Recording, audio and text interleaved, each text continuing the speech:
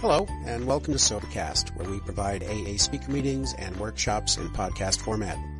We're an ad-free podcast, and if you enjoy listening, please help us be self-supporting by visiting Sobercast.com, look for the donate link, and drop a dollar or two into our virtual basket. We hope you enjoy the podcast. Have a great day.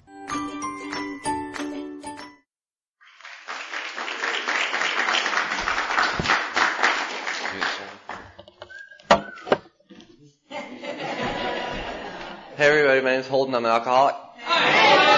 We love you! Lots and lots and lots! How much?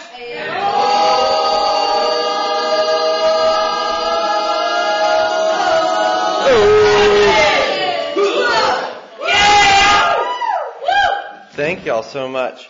Um, if y'all don't mind, um, I'd like to just do the serenity prayer real quick. Um, if it's okay with everybody. God, grant me the serenity to accept the things I cannot change, the courage to change the things that I can, and the wisdom to know the difference. Amen. Thank y'all. Um, yeah, so um, appreciate the introduction, Latham. It's uh, it was a really cool experience for me, as it tends to be when these kind of things happen. Um, to meet somebody and really discover that not necessarily the world as a whole, but especially the AA world is very, very small. And um, I find more and more that with even just the smallest amount of effort, you know, sometimes just showing up, you, can get some pretty amazing rewards. Um, and uh, a lot of that, a lot of time that comes in the form of um, realizing that that you share the same ideas, or that you might have certain teachers that you you both follow. Um, and when you both do that somewhat blindly, um, you know, say if it's a speaker that you both like and you've never even met this person yet, you, you can sit there and have an interesting conversation as if you were talking about a philosopher or, you know, that, that is a cool experience for me. And, um, before, it was an experience that I could really only get, um, when I was sitting at a bar stool and I was really trying w- whatever, um, I was trying the hardest that I could not to feel alone in the world. And I would really stretch um, in order to, to, find an association with somebody. Um, now, I find that all I have to do is show up and be honest and um, a little bit willing, and all of a sudden I, I get this entire world, you know, as a um, as a reward, and it's uh, it's it's something I truly don't deserve, um, you know, but I um, I'm very grateful for it. So, um, and with that said, uh, I live in Nashville. Um, I'm currently, uh, just moved a couple months ago from uh, a town called Lebanon to to East Nashville. Um, my my home group was the IBI UBU group in Lebanon, um, but now I'm the Young Timers group at Club 62 there in, in Nashville. Um, if any of you guys come up to Nashville, please uh, look it up, grab my number before before we before we depart, and I'll uh, make sure it's a, it's a great meeting. We have um, a lot of really great people up there. Um, so um, I am I have three siblings. I was born in Macon, Georgia, in 1980, and um, you know I was a middle class family. I had absolutely every opportunity for success, um, and you know pretty standard 80s living, you know, if you ask me. Um, very typical household, two parents that worked very hard. Um, father ran a, um, a music business, a, uh, like a, you know, piano and organ store. And, um, you know, in our family, you know, basically we thrived, um, on, you know, the success of that business. My mother was the accountant for the business, so, you know, it was, um, it was a lot of work on their behalf. Um, and so I found myself, you know, there in the store a lot. And, um, you know, I got a lot of really cool stuff as a, as a result of that, you know, music is a, is a big part of my life. And it's part of my story too, both positively and negatively. But um, you know that that's just a result of my my upbringing and and and, where I grew up. Um, I don't remember that much good stuff about my childhood. Um, you know, when somebody said that they just assumed they went insane 30 seconds after they were born, I get that. Um, because the the idea that that the alcohol caused me to be this way, uh, you know, I, I can't relate to that because uh, uh, I remember being this way. Well, I don't ever remember not being this way. Um, there's all kinds of behavior from when I was young that, that really demonstrates this. Um, when I was maybe six, five, um, you know, I stole um, my mother's tennis bracelet, um, you know, just with all different types of diamonds, and gave it to a girl, I think in first grade. and it, you know, it was it is funny and it's an interesting story, but I also think it, it really details um, couple different ideas that I somehow had when I was younger. One, I alone am certainly not enough for this relationship or this interaction between the two of us. And so I'm going to need to bring something to the table. Um, and two, I'm probably not going to work for it. I'm probably just going to take it. And, you know, um, and then three, and probably most importantly, is I need you, you know, to, to give me value, you know, in my life.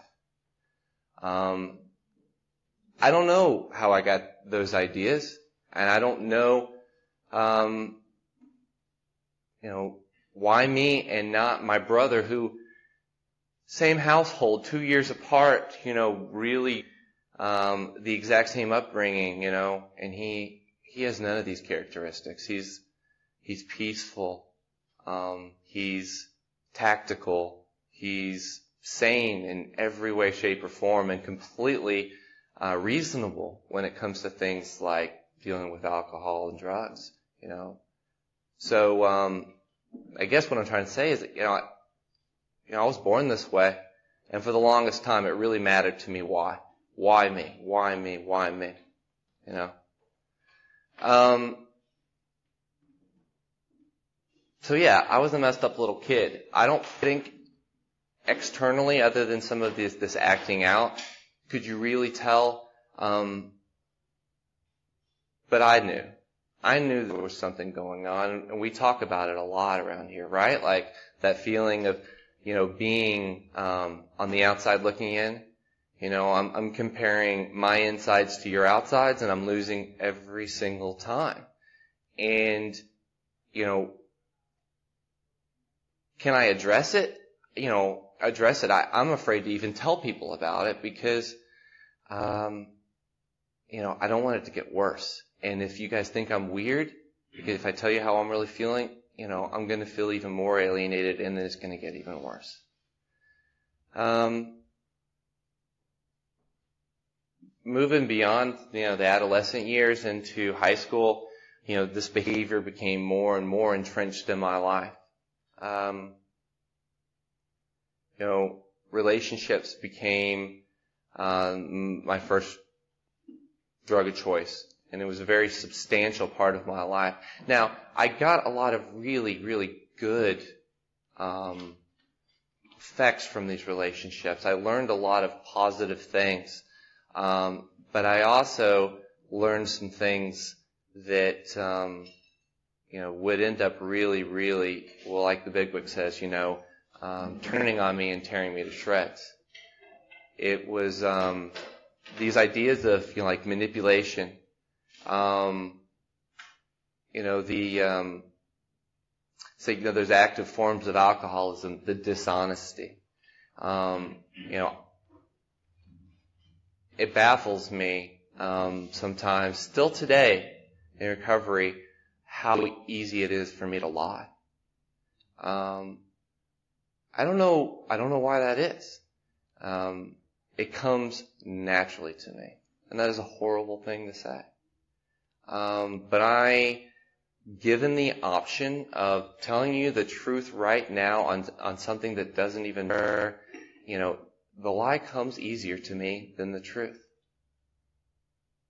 And it took a long time um, for that to catch up to me. And now in recovery, it still takes a lot of conscious effort to remain um, to remain honest, especially to myself. But I've got help for that, you know, with you guys.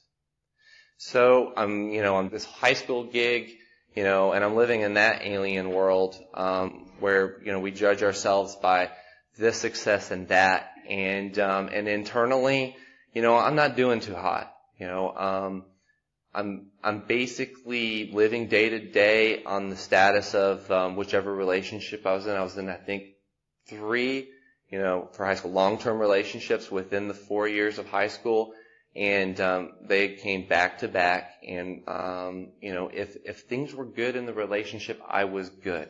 I was good. I had meaning. I had a purpose, and um, and I had peace. But if there was even the perception on my part that things were not good, if things were not okay, then I was not okay, and I was I was out there manipulating the world, trying to arrange the play to ensure that even if you didn't things didn't okay didn't get okay and you weren't, um, if I wasn't becoming the apple of your eye again, all I had to do was think that you were. And then I was going to be okay again. You know, my whole life internally was dependent on outside things. And I thought that's how it was supposed to be. And I didn't know any other way. At the same time, I was doing some pretty cool stuff. Um, I, you know, I was still, um, I, I also had, you know, music talent. Um, I, um, I actually moved my senior year to Chicago.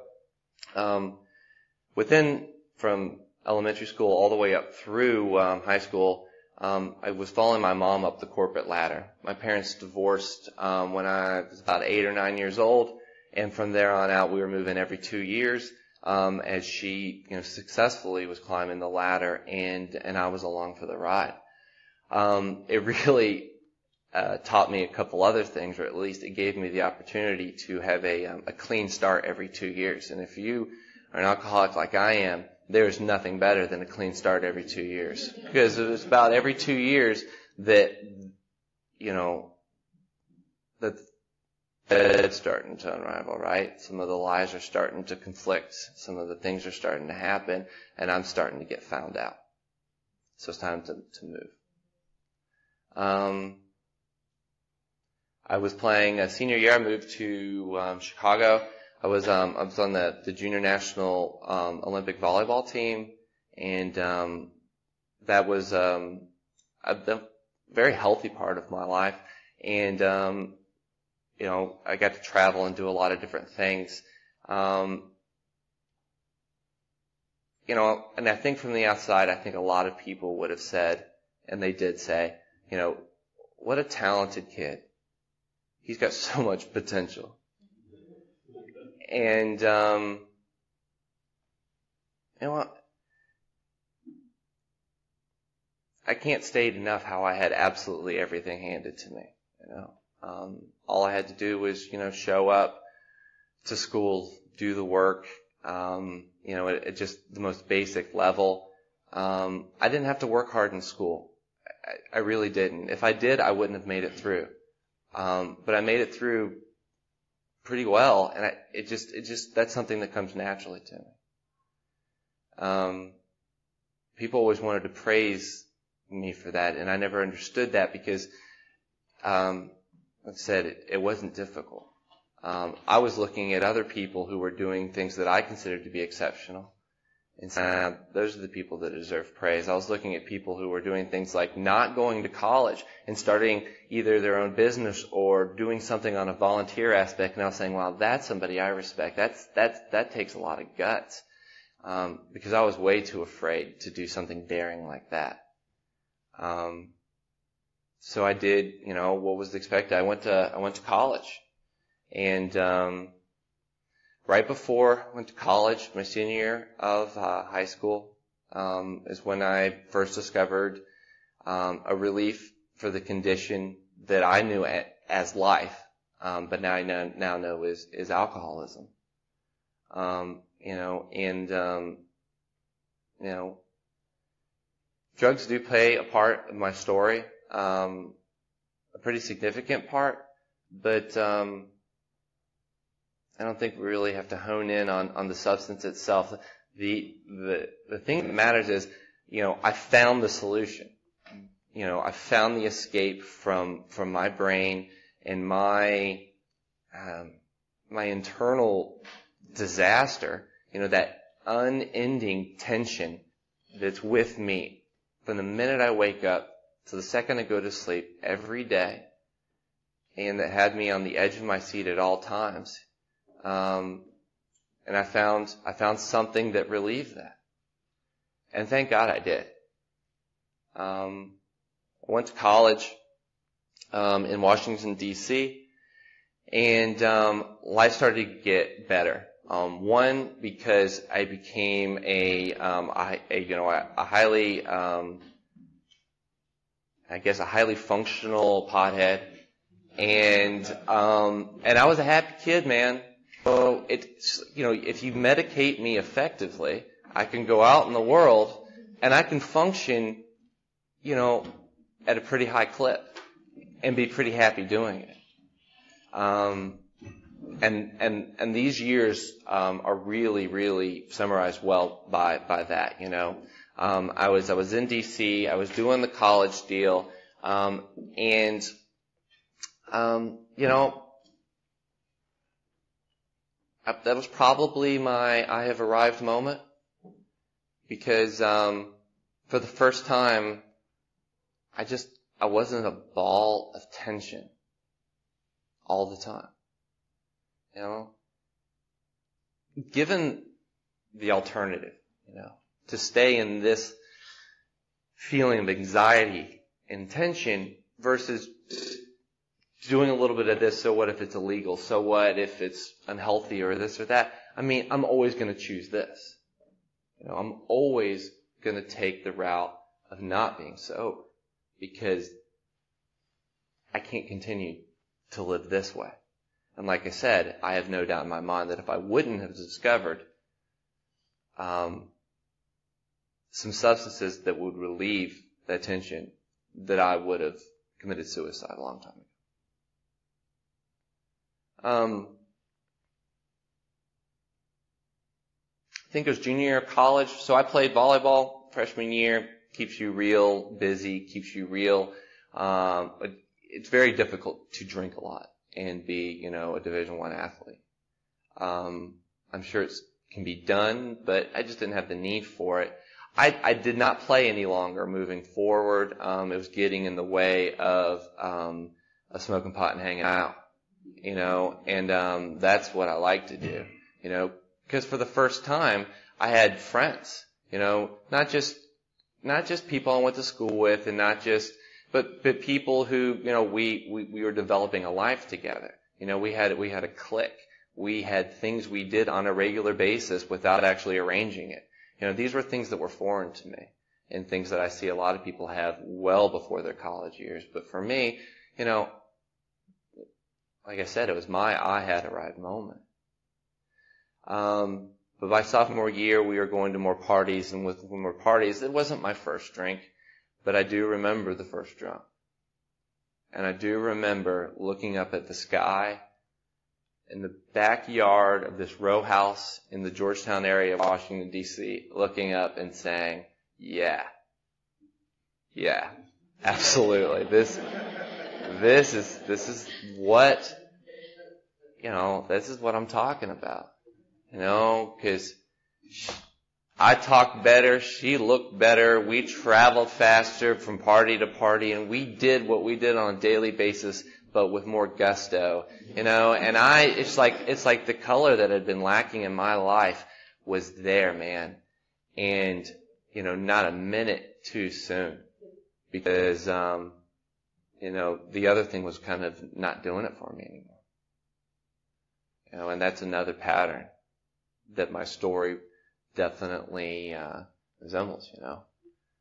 Um, so in the beginning, you know, the um, the effectiveness of the drink was pretty uh, pretty great, um, and there was no consequence to it. Know, I was in college in a relatively consequence-free environment. Even if we did get you know caught for underage drinking or for doing anything else illegal, we were protected by the university ultimately was the buffer between us and the Metro Police. And, you know, that happened on several occasions and we did whatever, you know, slap in the hands, you know.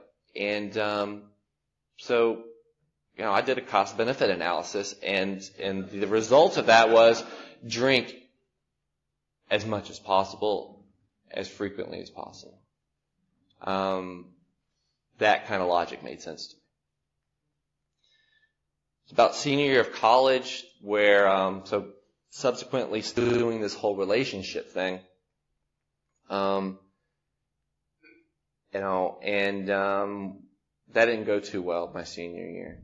Um, junior year, I spent the entire time in Eastern Europe, and um, and she had spent it somewhere else, and we came back and found that in that year, you know, some things had happened, and and it wasn't working out for us. And um, I don't know why her, and I don't know why this particular moment, but I was completely unable to accept it.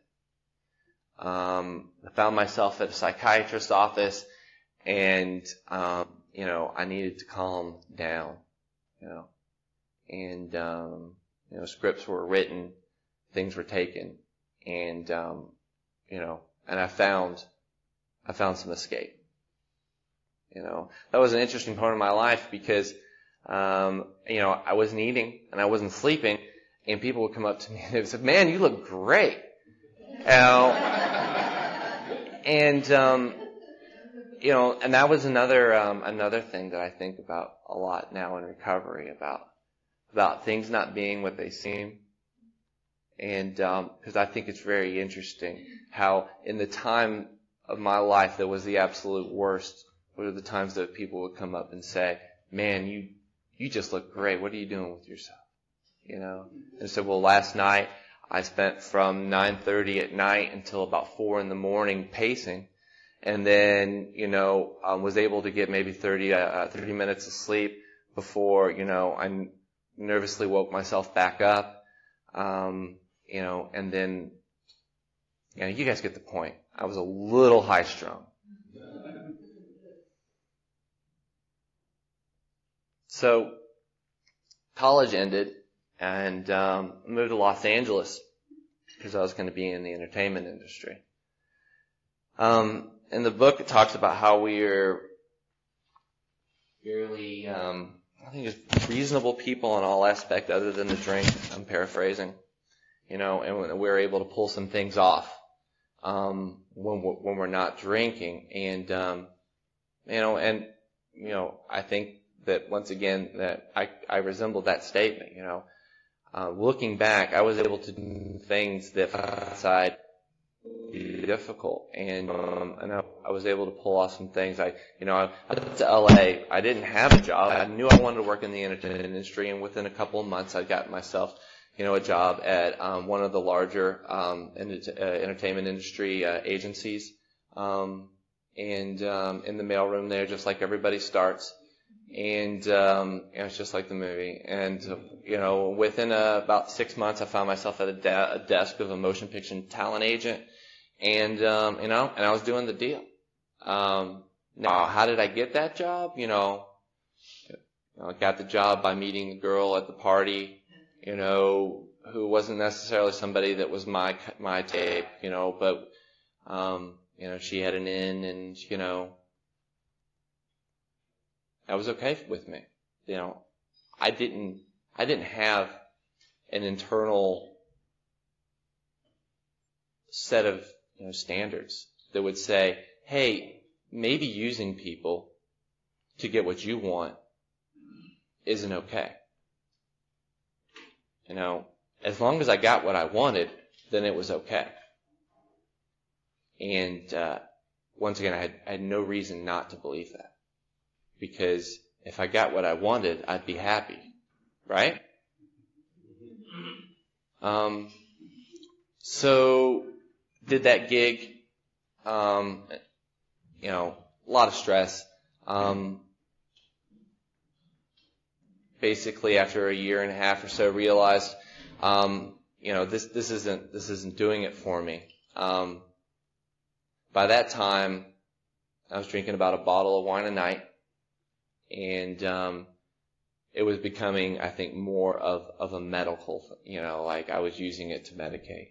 At the same time, I was on the tranquilizers from the gig senior year of college, um, you know, which the book talks specifically about how we get to that point too. You know, and I would have to take those in order to be able to not be a little bit jittery in the morning. And there's, if you would have told me at that point that I was in the beginning of a road towards you know, absolute dependence on alcohol, I would have told you you're crazy. Because I'm just doing what normal 22 to 23, 4 year olds do. You know. Um, the next few years started a whole series of um, of, of moves.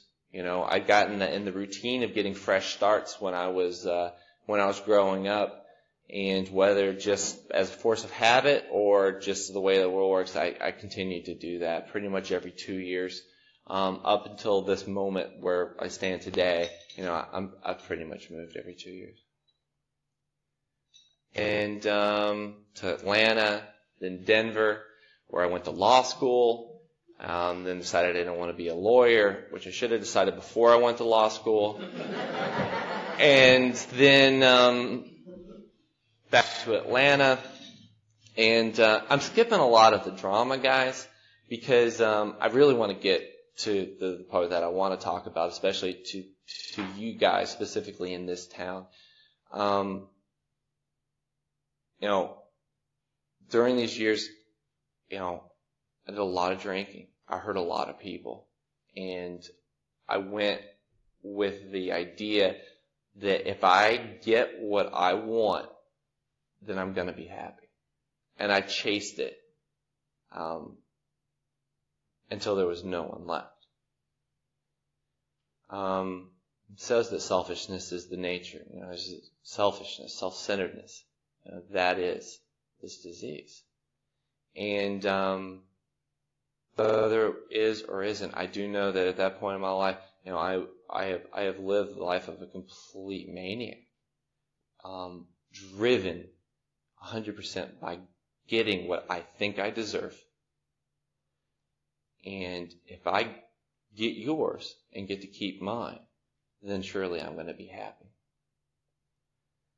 Um, well, you know, no surprise to you guys, it didn't work. They didn't find any happiness. Um, by 2011, I was in Detroit. Um, I was working. I found a job I liked. I found it something that I was good at, and I liked it. And um, I was working for one of the large automobile manufacturers up there, working in supply chain design, and just really um, reveling. And I was traveling um, to Europe every other week, um, and just, you know, I got to build teams and I got to do some things that, that I was really enjoying. Unfortunately, by this point, I had also developed um, such a habit. Um, my the level of physical dependence had gotten um, pretty ridiculous, and um, and I couldn't turn it off. Um, this is the point where I wanted to stop, but I couldn't. I had what I was looking for in substance in my life, but I couldn't stop. And um, I didn't know what to do. Um,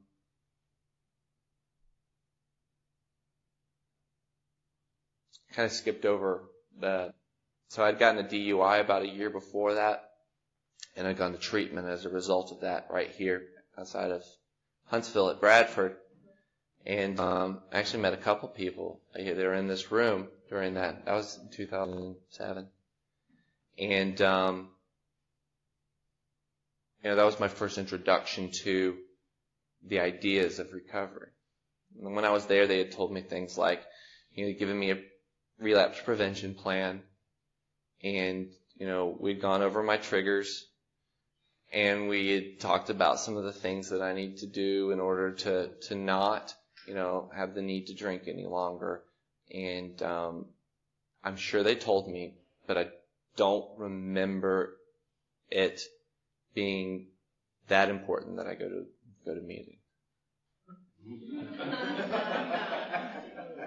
Um, so needless to say, it didn't last long, and um, it's important I say this. So by I, by the time I end up in Detroit, you know, I I got um, I would have these these moments where it's you know one o'clock in the morning, two o'clock in the morning at the bar, you know, and all of a sudden something like you know something that somebody would have said, actually somebody that's sitting in this room would have said, you know, at Bradford, you know, and that would pop in your head, you know, you're you're you know, a, bottle into the night, you know, and all of a sudden this, the stuff starts popping in your head. Like maybe there's another way. Maybe you don't have to do this. Maybe there are, are people out there that'll help. Um, those kind of temporary thoughts would pop in from time to time, but nothing that would have the hold that would actually get me, you know, to take any action. Um, but the disease did what the disease does. You know, it took me down. Um, eventually got to the point, even though I was making a significant amount of money, in order to keep going and drinking the way that I like to drink, I developed other habits. And um, very, very expensive habits. And I ran out of money. Um, I'd also run out of people to give me money. And um, at a point of absolute desperation, I uh, stole a computer monitor from where I worked. And um, sold it on the internet, took the money and got what I needed to get in order to drink the way that I wanted to drink, in order to just not be sick, so that I could go to work the next day so that I could feel, so I could not feel like I, what I really was, which is, you know, a hopeless alcoholic. Um, I got caught.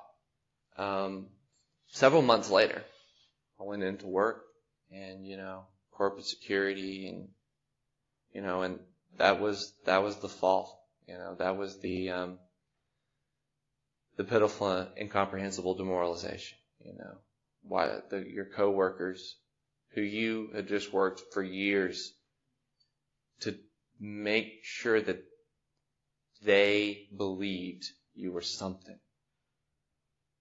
You know, and to have them watch you walk down that aisle, you know, and, and, and out of there is something I'll never forget. I had just enough money. Um, we got paid like that night you know, so I had just enough money to buy a plane ticket to get to Nashville. To Nashville, and my mother, the only person left in my life, would take me to a hospital.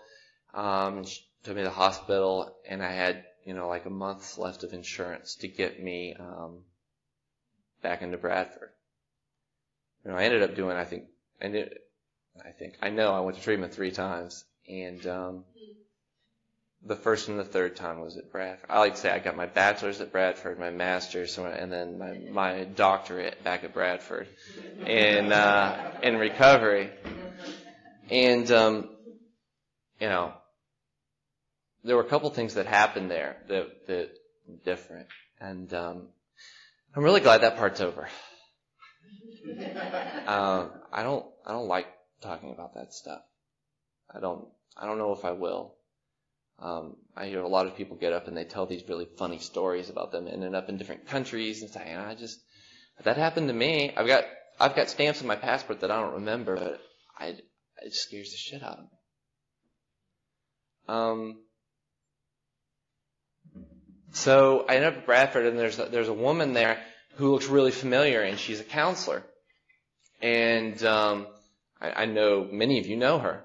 And um, wow, she looks familiar. She still works here. Well, she didn't work there. She was a patient with me when I was in there the first time. and she had done um, what she heard them say, which I didn't hear them say. you know, and she had done the deal. And now she worked as a counselor there. She still does.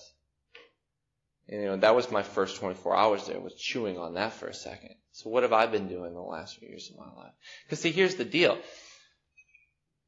It doesn't matter what I did, how great it possibly could have been. When I'm living that way, everything in my life is temporary. You know, when you drink the way that I drank and use people and things the way that I did, there is no such thing as building. You know, you're just, you're just putting something together, you know, just so it can all fall apart the next time.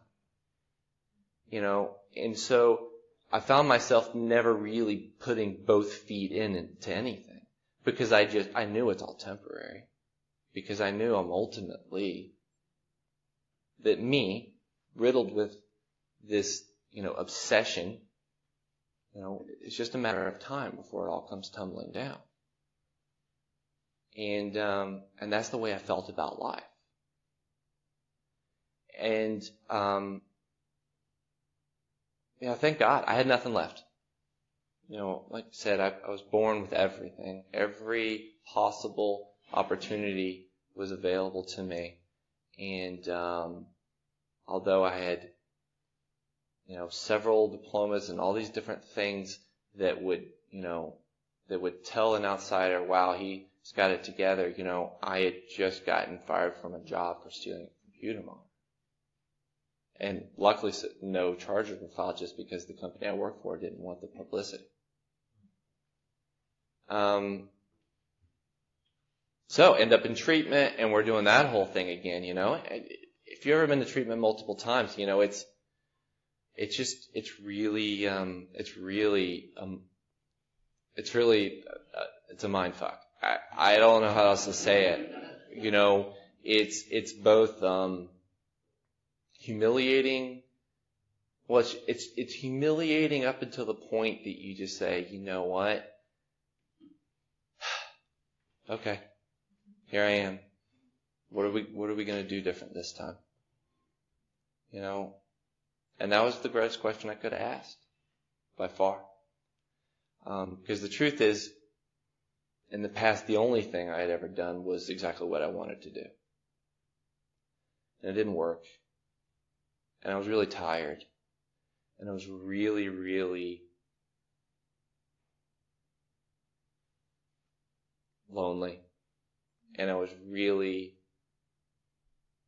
the future wasn't looking so good. And um, somebody at treatment proposed to me that maybe I could start over, like entirely. Um, that maybe some of these ideas that I was using to live my life really weren't that good. Maybe they weren't serving me that well. And that's when I started getting introduced to all these other ideas of, um, of, of spirituality above and beyond, you know, my crippled belief system of, you know, of God and church. Um, I was just broken enough, had, you know, no other resources, so when they suggested that I go to live in, um, a sober living home or a halfway house if you want to be a dick about it. they uh, that I uh, that I had no other options, so so I went. Um, and while I'm at um, went to a place in Lebanon, Tennessee, um, you know, I got I got the opportunity. So um, the first day there, you know, I'm pretty sure they sold me on this when I was in treatment. They sold me on this idea that you're going to go there and they're going to get you a job, and they're going to be, you know, meetings galore, and it's going to be like high school again or something. Which for me wasn't that great. So they should have said college, but, uh, but no, I mean, I got there and they gave me like a piece of paper, and they gave me like some instructions on how to go get a job. You know, and of course, you know, I said, I know how to get a job. You know who I am? And, um, but if you would have looked at the ideas I would have come up with to get a job. And when I read those paper, you would have had two very, very different things. This, this was, you know, go door to door, don't skip any place, don't choose where you want to work. Um, you know, as manager, do these, blah, blah, blah, blah, blah. Basically, don't use any of the tools that I knew how to use, which is people, you know, all those different things. Uh, oh, and if you don't have a job in the next three days, then you don't live here anymore. You know, so, um, you know, that was the beginning for me. That was the beginning of the road that I now, um, you know, I call recovery. You know, recovery from a hopeless state of mind and body. Recovery from a hopeless life that is lived in vain at all times and incapable of building anything that's of substance because that was my life. But I took this piece of paper and I went out, I got myself a job in a restaurant. And, um, and I would go to meetings. And I had to get a sponsor, you know, and, um, and I had to use the sponsor, which means at least I had to call him. And I got a sponsor. I got a sponsor by the name of Mark. And all these things in in you know in a grouping would you know, considered to be some of the most important things that have happened to me up until this point. Um, I was doing the sober living home thing and um, going to work in the restaurant, you know, dealing with things like you know my ego flaring up and um, you know I don't can't do this, you know. I can't, you know, continue to go to these meetings and listen to this same old stuff. It just sounded to me, it was just like, it was just repetitive and so quippy. And it's just, it was like a raw nerve. Um, you know, the levels of restlessness and irritability in my life were just, were just remarkable after a few months of doing this, I was way worse off. Way worse off than when I had gotten there. And here I was completely incapable of blaming it on alcohol or drugs because I didn't have any of them in my body. And I was, you know, pretty much back to the high school levels of damn near suicide. And, um, you know, I've come to call this my sober bottom, and I've come to realize that many people have it. And it's for this reason that I have no problem uh, relating to, say, like Clancy when he says that the natural state of a sober alcoholic is one of continuous uh, anxiety, depression, and fear. You know, because once again, you take you take the um, you take the medications away from me, and I alone cannot handle all of this. You know, it's just too much. Um, so I got desperate enough to finally start being honest with Mark. So that at one day, when he asked me how I'm doing, instead of just saying fine, I said, um, you know, I'm damn near suicidal. And he said, you know, well good that you may actually be at the jumping off point then. I want you to read, and you, you know, basically have me reading up until the third step. Said, if you were really at that point, Holden, then I truly believe that you've worked step one and two. Did you realize you can't imagine life with alcohol, and you, now there's no way you can imagine life without it. So I want you to consider letting something else run your life. You know, and he had me think about that for about a week and, um, you know, I, I was very uncomfortable with the entire idea. You know, my life is shit, but at least it's my shit. You know, if I move forward, um, I was pretty convinced I was going to end up in China or working someplace. I, was going to end up doing a whole lot of stuff that I didn't want to do. And I certainly didn't believe that any plan that God could come up with was better than mine. That's that's the you know the the root of my fear. And so I was sharing this with a friend yesterday. I I went to him and uh, about a week later he said, "So you're ready to do this?" And I said, um, "No, he didn't say that. He said, do you want to do this?" And I said, "No, don't."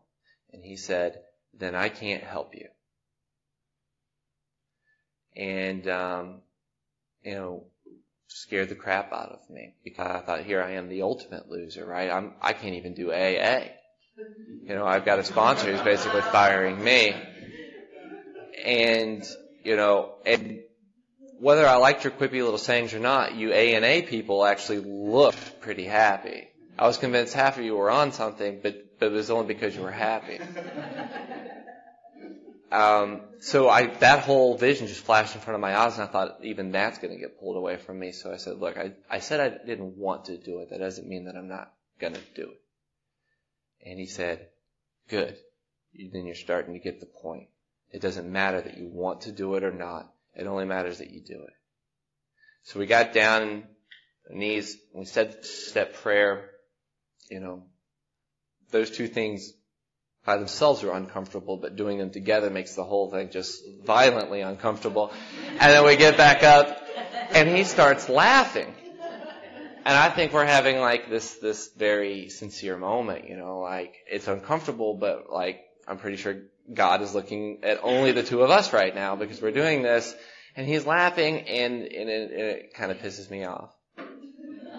And, and he says probably the most important thing that anyone said to me in sobriety and something that continues to motivate me uh, till this day in, in a very good way. I, I said, what's so funny? And he said, you don't want God to have that kind of control in your life, huh? I said, no. He said, well, that's too bad. He's got it anyway. And he always has. He said, that little exercise we did is just to remind you who's God and who's the drunk. See, I always thought that just if I didn't recognize something or give it significance in my life, that it didn't apply to me. You know, that I could cheat and lie and do all these different things. And because I didn't believe in karma, because I didn't believe in right and wrong, because I didn't believe that there were laws and principles effect, that I was, you know, immune from the effects or the consequences of my actions. The truth is, they still applied whether or not I wanted to address them or not. That's a very big thing to me because I started to realize that the truth is there are forces at play. There are things out there in this world that are much bigger than me. And it was time to learn more about them so that maybe I could start to get on the right side of things so that maybe I could have a better life. Or just a life, period. And that was the start of, um, of like real sobriety for me. Uh, and I, I hate using these kind of terms. Let me just say that I've been, I've been a pretty happy guy since. Um, it was pretty hot and heavy after that. Uh, we go right into four. I had fifth step experience, um, to the best of my ability, you know, went through all the different columns, went through all three lists, um, and then made a, a, separate fourth list of um, the people who didn't fit on the first three lists, who maybe I had wronged in some way, shape, or form, and you know, um, spent a couple months on six and seven. At this time, I'm starting to go to a lot more of the YPAA events. That was when I went to my first Tiki Pod at six months.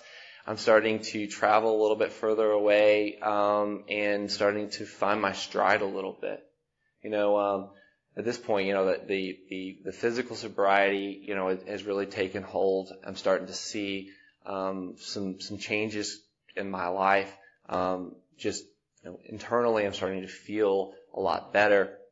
But then I'm starting to also have um, things like um, friendships and um, trying to like wrestle with what that's all about. You know, what what mean a friend? What does that mean? Um, and um, after about nine months of um, not drinking and not using and working a program, I was um, to the best of my ability, absolutely to the best of my ability. Um, we got to um, back to those lists we had made, and um, you know, everyone does this thing differently, right? So you got some people who are like first step for a year guys, and you got some other people who are like, it's only been two weeks and they're on 12. And there's like, there's all these different groups, and uh, I guess we're somewhere in the middle, but, um, you know, it, you know, being at nine, um, meant, um, there was, there was a lot of work to be done. Um, I found something, um, temporarily at times, but it, it was happening more often, and that was like, um, you know, a freedom. I was finding that I wasn't drinking, I wasn't using, but I also wasn't scared of my own shadow. And I wasn't scared of you. You could come up to me in a meeting and I could look you in the eye. And you could say, how are you? And I could be honest with you. I found, um, there were a lot of really good things that were happening in my life. Um, and I didn't want that to stop. And I was scared to death because I was listening to a lot of speakers and I was listening to a lot of tapes. And the thing I kept hearing over and over and over again was, you know, eight and a half doesn't do it. You know, I kept hearing that, that nine is important. And I had a note card, you know, for each amend that I owed. And I think there was 183 note cards in seven countries and several different states. Um, my job, I traveled internationally, so if I brought in the professional aspects of it, there were there were a lot of people who I owed amends to, and the whole thing seemed just daunting. I didn't know if I was going to be able to do that. But um, my sponsor, Mark, ever the practical one, um, was very, uh, very good at setting my priorities for me. And he broke up the note cards into a range where we pretty much went after the looming um, legal issues first, which to me were the scariest. Well, my very first amendment actually was um, to a woman, my mom's next door neighbor, a woman named um, I apologize. Linda. And Linda, um, Linda's husband, a few years back, had died of cancer. And shortly before his death, uh, he had been taken to the hospital, and I, you know, had taken his medication. Not some of it. And um, there have been accusations. Somehow I passed a drug test. I, I don't know how this worked. Long story short, my first amendment was to go back to her and say, I took medication from your dying husband. And I'm sorry. Is there anything that I can do today to make up for that? It was one of the hardest things I've ever done. And just like everything in this program to this point, the results were completely opposite of what I thought they would be. And she said, you know, thank you. Thank you for telling me this. She said, I knew you did. And I knew you were in trouble, but I knew that was between you and God. And then she said, your mother is one of my best friends. And if you are sincere in your offer to do something for me, then you will stop hurting your mother. And on that note, I wouldn't mind hearing from you every once in a while too. I had no idea that people out there actually wanted to hear from me every once in a while. You know? So, what I got was, um, a friendship that was always just one-sided, right? And now it's an actual relationship. It's a friendship. I still call Linda, um, you know, every week and see how she's doing. Um, the other amends that we're making, uh, I had had a DUI, uh, like I said, back in Colorado that I eventually just stopped showing up for stuff on, and um, you know, out when I was out there, I just thought it would never catch up to me, and um, it was preventing me from getting my driver's license back in the state of Tennessee, and um, it was not just Colorado, but also District of Columbia, and so on two separate trips, I went both to Colorado and District of Columbia, um, both with six months hanging over my head. And on both occasions, they said, um, I had a letter from, from the house as well as um, on one instance my sponsor with me, and they both said, "We don't want, we just want you to keep doing what you're doing." And um, you know, I see so many people who come in who have even less than than I do, who who are that that fear of going back to the authorities or that fear of the looming um, legal stuff basically just drives them right back out. You know, it, it's too hard. It's never going to be resolved in a way that I'm going to be okay with. So there's no sense of me even trying to do this, right? Well, my case says the exact opposite. You know, what I learned through going through these approaches was that whereas I always was one to want to manipulate and con because I didn't think that if I did things just the right way, the result would be okay. In my favor, aka. Um, what I found is by going on these approaches and putting myself out there, as scary as it may be, the people who are in the position to make the decisions and judge my fate did so in a way that was you know, kind. And it certainly wasn't just, because if it was just, I'd still be in prison or jail or whatever. So, you know, I, I got a lot of, um, a lot of uh, forgiveness and, and kindness that I really didn't deserve. Um, it's been a really, really cool experience. Um, I still have, um, I don't know, 65 note cards left um, a lot of financial amends that are still out there. Um, but to the best of my knowledge, I've made every financial amend approach and set up something like the book tells us to that, that I know of. So what do I get as a result of that? Um, after about a year sober, um, I met someone uh, in a meeting who um, just happened to work in the same industry that I used to work in who just happened to have a good friend and colleague who just happened to be looking for somebody who did exactly what I used to do. And whereas you guys told me when I came into this program, you said, if you just do this, you'll get all your stuff back. And I say, well, I can legitimately see how after maybe four or five years, that might be able to work.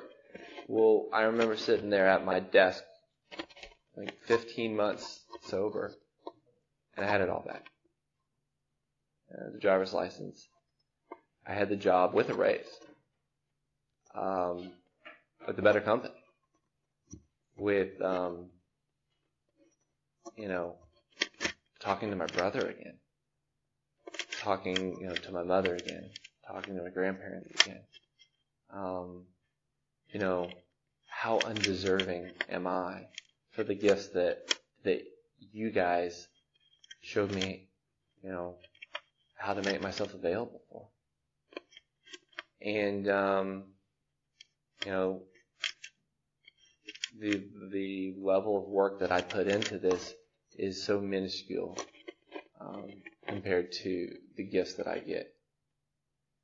And um, the reason that this group in particular um, and this afternoon in particular is so meaningful to me personally, and maybe the reason why Normally, I'm actually pretty lighthearted, uh, or have been recently at least. Um, but this is very, um, this is very meaningful to me because, you know, when I got sober um, at Bradford that time, and I was so scared, there were people that were in this room, you know, who were who were in that building who who basically gave me gave me the strength to to make some hard decisions, you know, to learn. Um, not to trust myself, you know, just to say, I don't, I will do what you tell me to do. Now tell me what to do, you know, to trust that.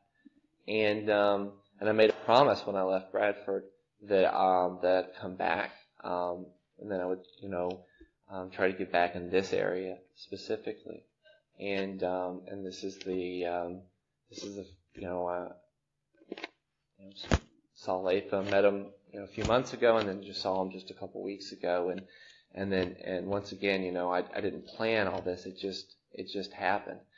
And I'm just, I'm really, I'm having a remarkable life as a result of, um, of just doing, um, just doing not much, you know, doing as little planning and as little manipulation as possible.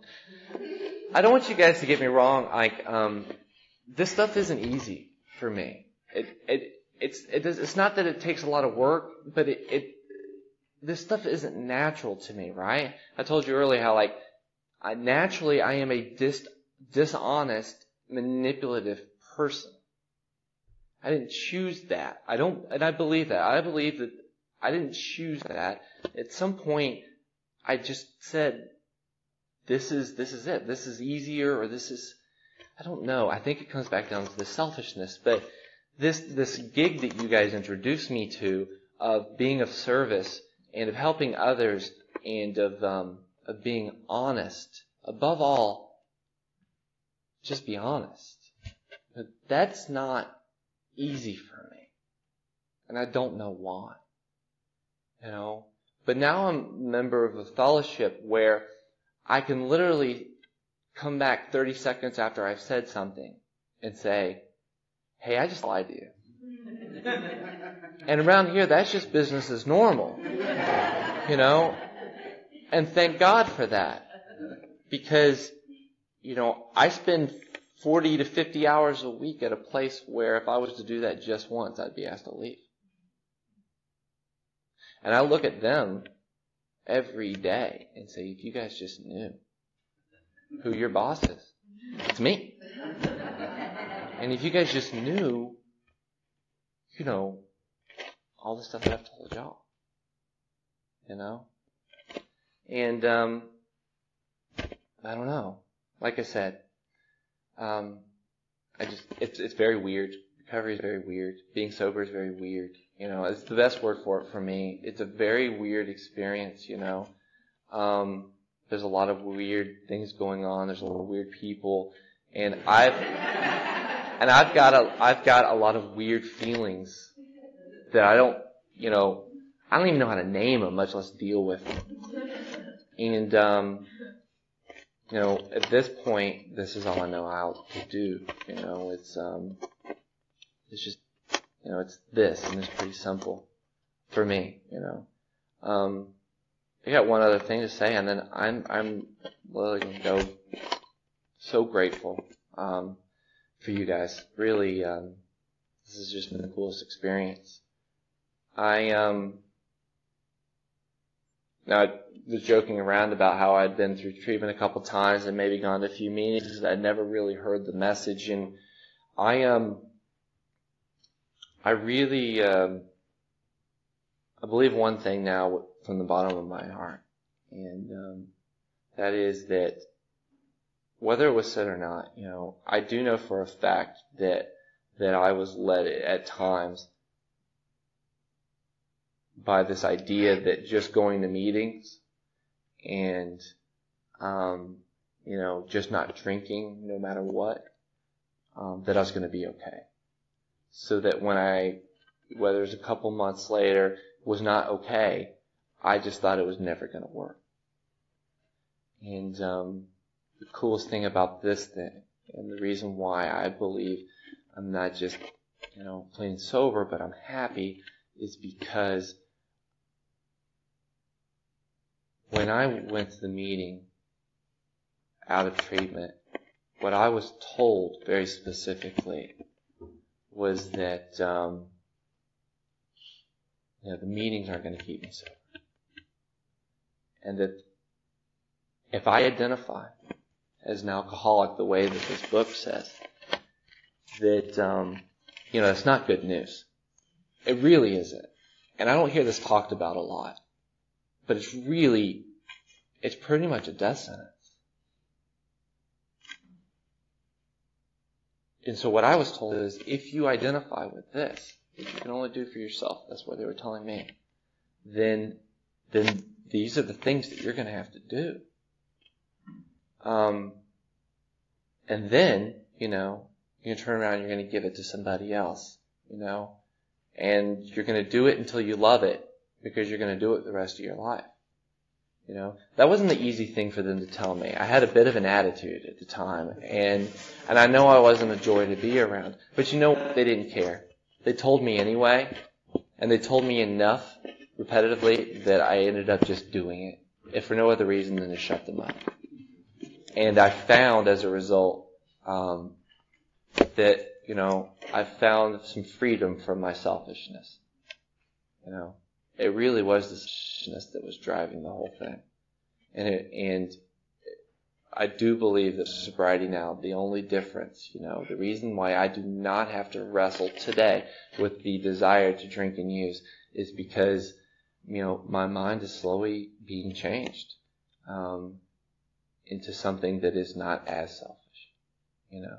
But it takes work. For me, it takes a lot of a lot of conscious thought, and I have to stay really close to my sponsor to ensure that all of a sudden I'm not thinking like God, because I'll get there too, you know but you guys will, um, you guys help me every day. And, um, you know, I truly can't do any of this without, without you guys. And I really, um, appreciate y'all letting me share. So thank you for